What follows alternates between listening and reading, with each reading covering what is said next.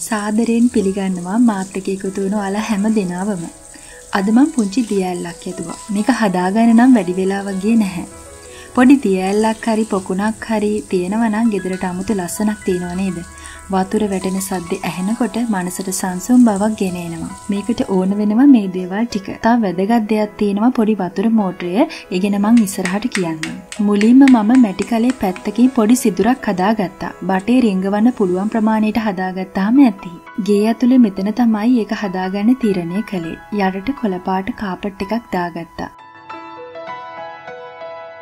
ඊළඟට මේ පොඩි කොන්ක්‍රීට් කණුවයි පෝච්චියයි තිබ්බා.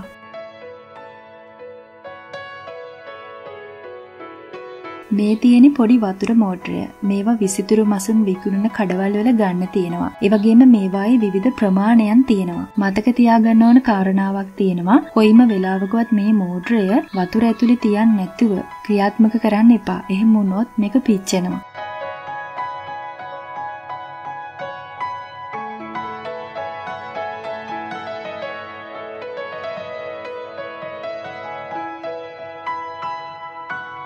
දැන් මම කළුගල් ටික මේ විදිහට තියාගන්නවා. වැඩි ශක්තිමත් බවක් ගන්න බදාම ටිකක් මේ ගල් අතරට දාන්න පුළුවන්.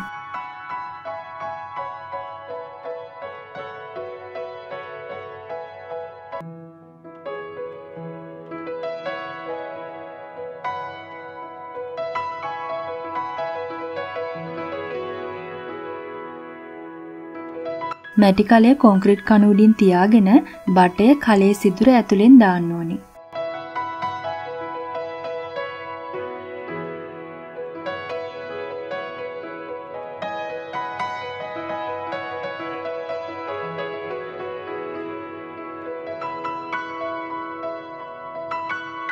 වටා පිටාව ලස්සන කරගන්න පැල ටිකක් තියාගත්තා.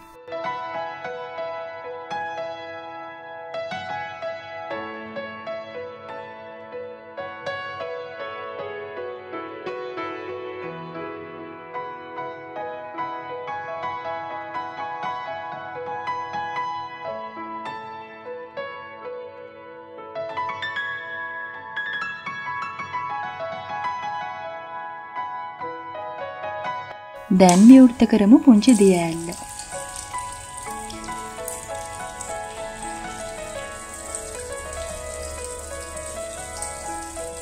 ඉතින් ඔයාලටත් පුළුවන් තවත් ලස්සන විදිහට මේ වගේ දෙයක් කරන්න. මේක ඕන් නම් එළිය හදාගන්නත් පුළුවන්.